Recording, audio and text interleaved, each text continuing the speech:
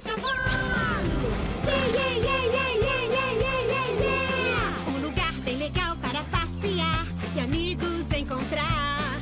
Cavalgar e brincar sempre todos juntos, assim poder estar. Na terra dos cavalos, tudo é tão lindo. Seja bem-vindo, venha aproveitar. É a terra dos cavalos! Terra dos Cavalos. Hoje, em Terra dos Cavalos, Bailey resgata um bichinho adorável. Mas o ciúme da alma e do Shep pode empurrar o cãozinho direto para o perigo. Temos que encontrá-lo antes que anoiteça. O que é que eu faço agora? Um novo animalzinho na Terra dos Cavalos.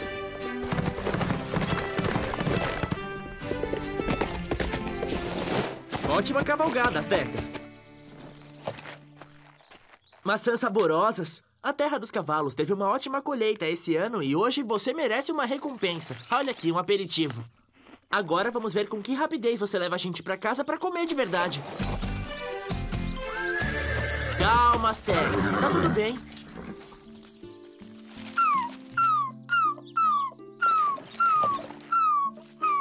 Calma, cachorrinho. As suas patas estão boas, você vai ficar bem. Hum, tá sem coleira e nem placa.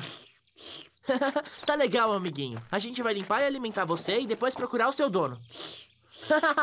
Mas que carinha engraçado.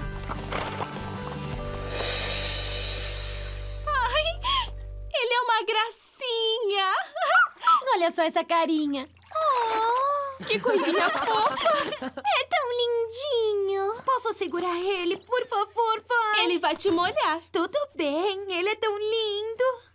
Ei, e quanto a nós? Ai, que fofo. O Will checou por toda a cidade e com o Dr. Martin. E ninguém deu queixa de um filhotinho perdido. O camaradinha deve ter sido abandonado. É duro acreditar que alguém pode ser tão cruel e sem consideração.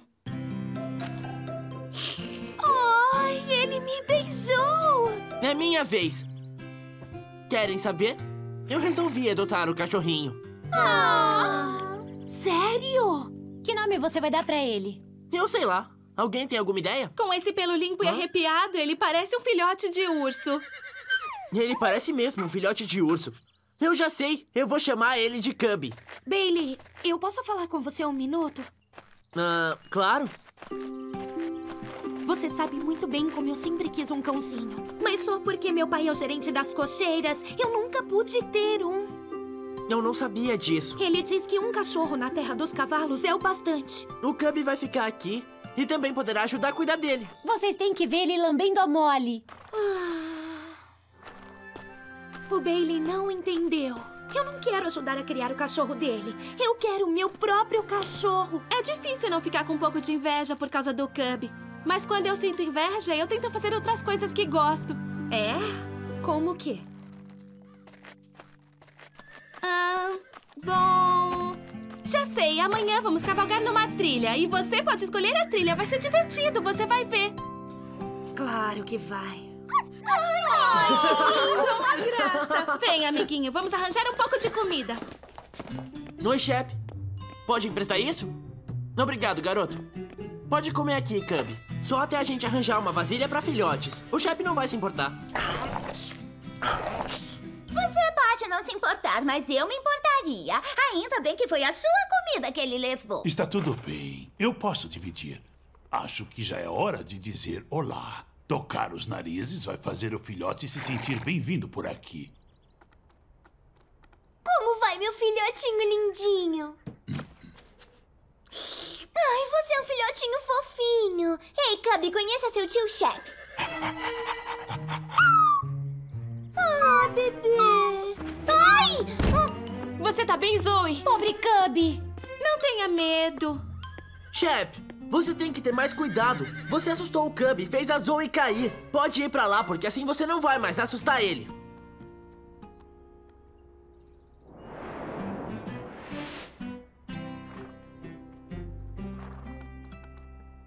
Uma bola! Mas que legal!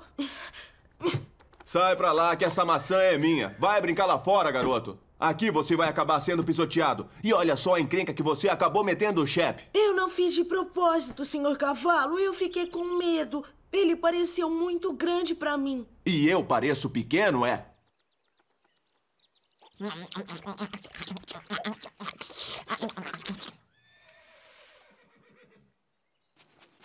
Shep, eu sinto muito ter metido você em encrenca. Você quer jogar bola? Claro, podemos jogar um pouquinho.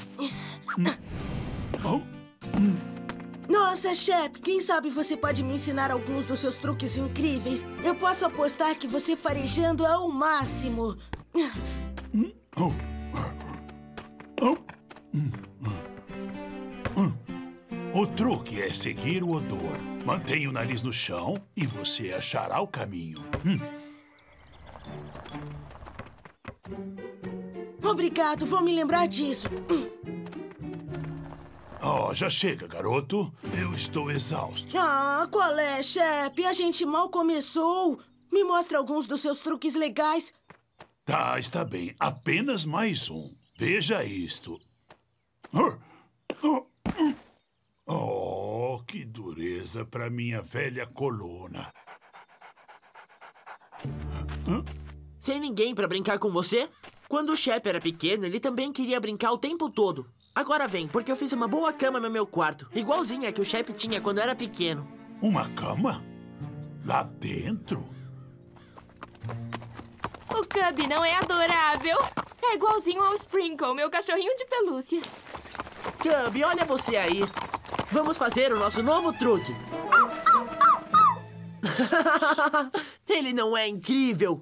Ele deve ser o cãozinho mais esperto do mundo. O Bailey costumava dizer que eu era o cãozinho mais esperto do mundo. Eu queria que o Cubby fosse o meu filhote. Ei, Shep, quer jogar bola de novo? Não, obrigado. Ah, vamos lá, só mais um joguinho. Qual é a parte do não que você não entendeu? Não, eu não entendi o não. Fala o que você quer dizer, Shep. Isso é uma charada?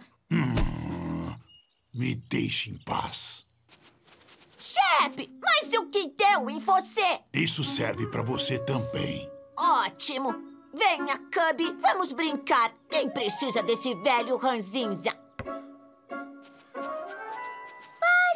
Que você foi mordido por aquele monstro de olho verde chamado ciúme. Ah, Esse vira-lata tá tirando toda a atenção de você. O Bailey passa todo o tempo livre com ele.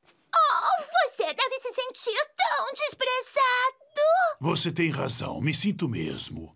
O Bailey não precisa mais de mim. Seria melhor para todos se eu fosse embora da Terra dos Cavalos. Shep,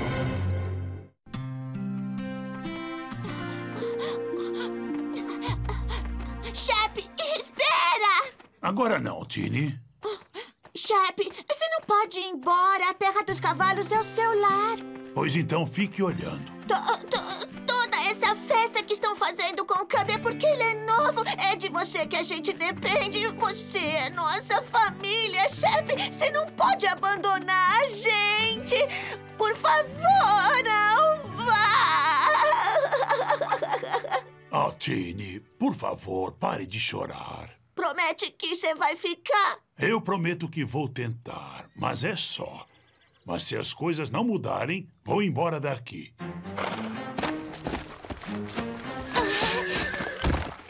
Opa, desculpa, Button.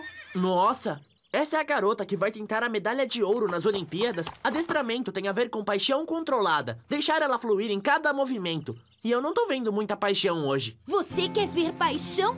Tá legal, que tal isso? Você sabia que eu queria um cachorro e não podia ter. Agora você tem dois e eu não tenho nenhum. É tão injusto. Nossa, calma aí, Alma. Eu já tinha falado que a gente podia dividir o Cubby. E eu já tinha falado que não é a mesma coisa. Além disso, se você tivesse algum sentimento, ia notar o que está fazendo com o Shep. Alma, do que você tá falando? Olhe pra ele.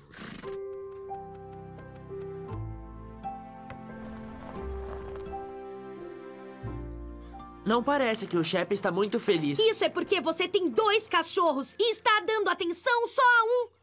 Eu não tenho nenhum e tenho tanta inveja que nem dá pra aguentar.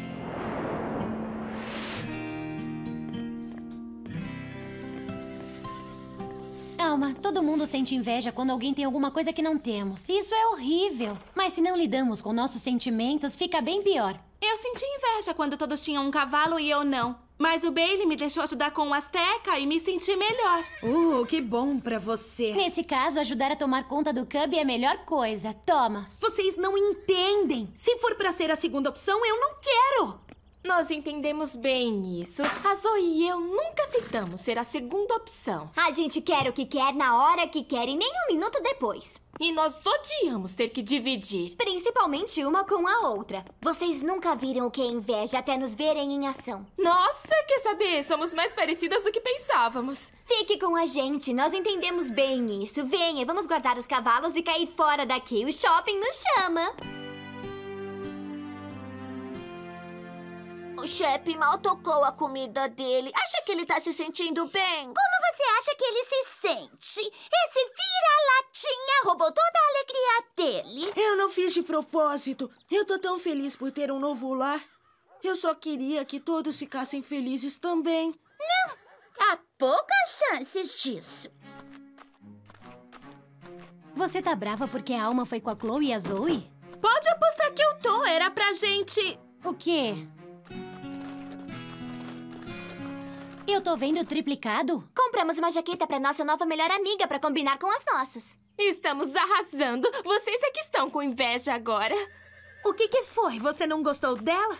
Achei que tínhamos combinado de cavalgar na trilha uma hora atrás. Desculpa, eu esqueci. Estávamos tão ocupadas comprando. É claro, esqueça. Um passeio pela trilha é uma ótima ideia. Vem, Alma, você, a Chloe e eu podemos ir.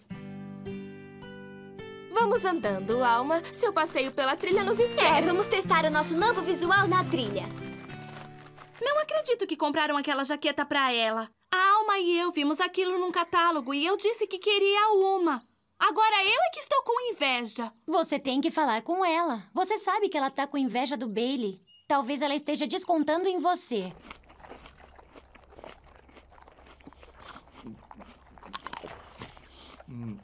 Nem acredito na gentileza da Chloe e da Zoe em nos trazer essas maravilhosas maçãs frescas para dividir com nossa nova amiga Button. Hum. Se conheço bem a Chloe e a Zoe, mais tarde vamos ter muito mais. Elas adoram estragar a gente com boa comida. Eu prefiro ser estragado com afeto. E Button, eu não acredito que você se deixa comprar por uma tigela de maçãs. Bom, vocês podem dividir algumas das suas guloseimas. Parece que tem o suficiente por aí. Será que eu notei uma ponta de inveja? Ah. Dói quando uma amiga vira as costas pra gente. A gente só tava tentando dizer pra ela dividir o cub com a gente. Mas pra ela, dividir parece não ser uma opção. Ela tá com muita inveja pra perceber que só queremos ajudar. Isso tá ficando tão interessante. Já está voando o pelo. O que você quer dizer, Angorá? As garotas não têm pelo. E pelo não voa. As penas sim voam. O que eu quero dizer é que não tem tido nada além de encrenca desde que você chegou aqui. Mas, mas, o que foi que eu fiz? Fez muita coisa. Recebeu toda a atenção e deixou todo mundo com ciúme. Agora todos estão aborrecidos. As garotas, os cavalos, eu. E olha só pro coitado do chefe. Pobre velho Shep! Não é mais importante, não é mais querido! Jogado fora como o jornal de ontem! E é tudo culpa sua! Mas eu não queria ter feito. Adeus, Tini. Gabi, pra onde você vai? Eu sinto muito mesmo, chefe. Eu sou só encrenca pra todo mundo. Agora você pode ficar com o Bailey só pra você. Cubby, espere!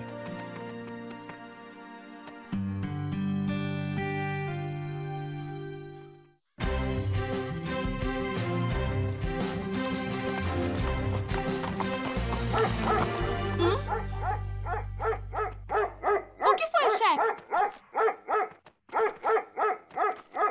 O que ele tá tentando dizer? Pessoal, alguém viu o Cubby? Eu tô procurando por toda parte.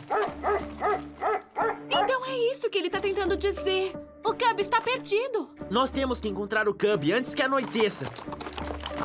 Vamos sim e bem rápido. Tem muito animal selvagem por aí procurando comida. Soubemos que o Cub sumiu. Achei que não se importasse, já que ele não é seu.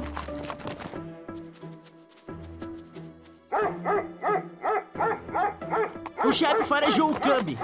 Chloe e Zoe, vocês duas vão ficar aqui pro caso dele voltar.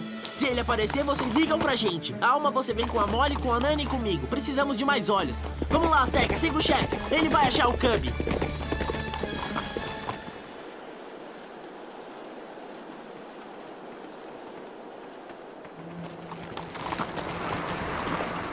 Ventando forte, vem vindo tempestade, isso não é bom.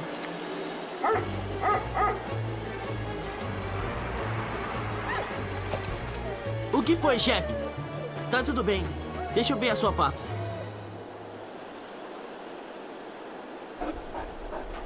Você é um escoteiro, chefe. Sempre foi. É o coração da Terra dos Cavalos. Tenho muito orgulho de você. Você vai encontrar aquele filhote, chefe. Se existe um cachorro nesse lugar, quem pode farejá-lo é você.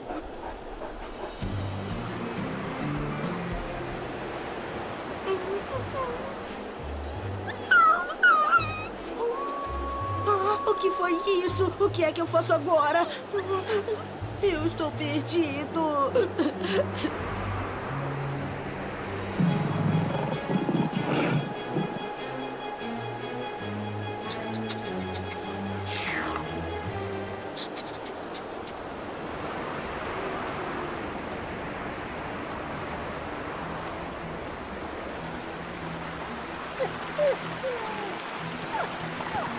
Eu acho que ele perdeu a pista do Cub. Mas ele vai achar de novo. Ele sempre acha. Vista isso, Molly. Valeu, eu tô congelando. Mas a sua jaqueta nova. Eu não estou com frio. E de qualquer forma, eu gosto mais da minha antiga. Não tem problema, pode ficar com essa. Tá bom, obrigada. Ele achou a pista do Cub de novo.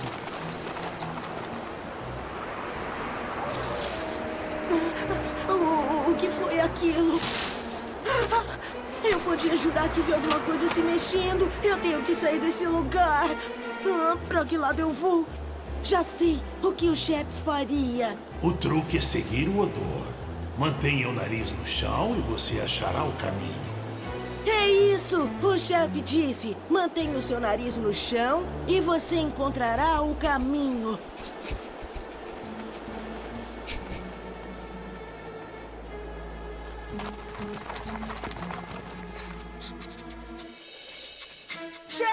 Cubby!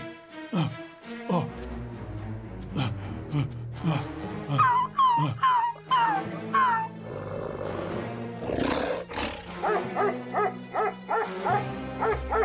Chefe, você está aqui? Eu sabia que viria me buscar.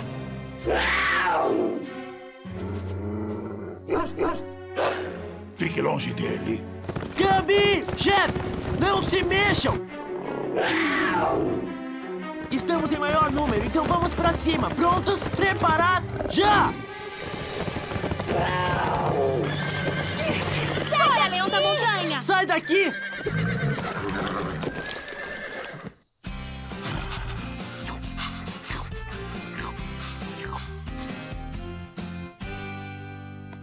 Pega a bola, garoto.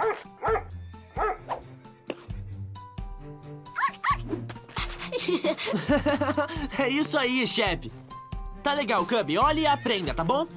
O chefe foi tão valente. Ele tava pronto pra lutar sozinho com aquele enorme leão da montanha. A gente tem tanta sorte de ter ele aqui. Ele deve ter ficado muito ciumento com toda a atenção que o Cub estava recebendo. Mas agora ele sabe que também é especial. Ele me fez pensar em como a minha inveja estava acabando com o melhor de mim. Ótimo. Pelo menos aprendeu alguma coisa. Eu decidi que se não posso ter exatamente o que quero, bom, dividir é a melhor coisa a fazer. Como todos vocês disseram. Seja um cão ou uma jaqueta. Ou um cesto de maçãs. Quando eu fico com inveja, eu tento lembrar o que aprendi na pré-escola. Você recebe o que merece e não se aborrece. Iu, esse não é mesmo o nosso lema. Por que não estamos surpresas? Um gesto de gratidão. É tudo que precisamos aprender. Mas que baboseira você tá dizendo agora? Bem, por exemplo, eu sou grato pelo meu novo amigo, o Cubby. E eu sou grata por ter minha comida. Opa! E eu ficaria mais grata ainda se essa peste de canino odioso me deixasse. É importante lembrarmos de ser gratos pelo que temos, em vez de ficarmos com inveja do que nós não temos. Se eu continuasse do jeito que eu estava, eu não teria aprendido nada. Até mais!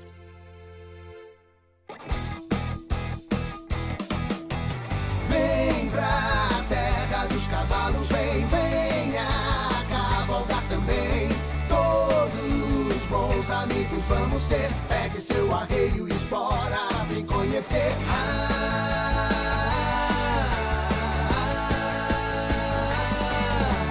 vem pra terra dos cavalos, vem. Pegue seu arreio e espora, vem conhecer.